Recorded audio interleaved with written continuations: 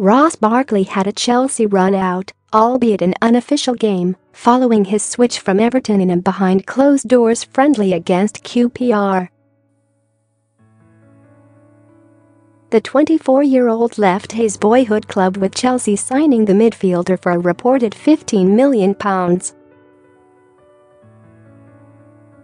His addition will bolster Antonio Conte's midfield options ahead of the second half of the season.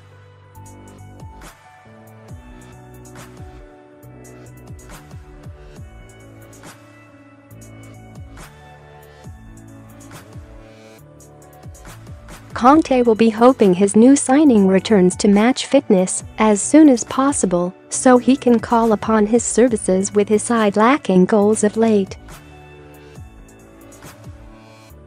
And the Italian boss reckons Barkley has the quality to score more goals. I think he has the quality to score more goals. My priority before that is to convince the player to work for the team, Conte said.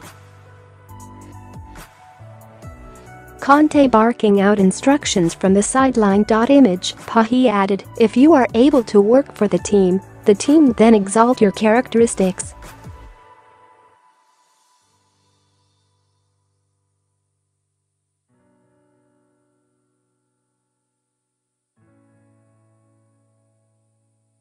The Spaniard received two yellow cards against Norwich in the FA Cup which means he's suspended for Saturday's league encounter.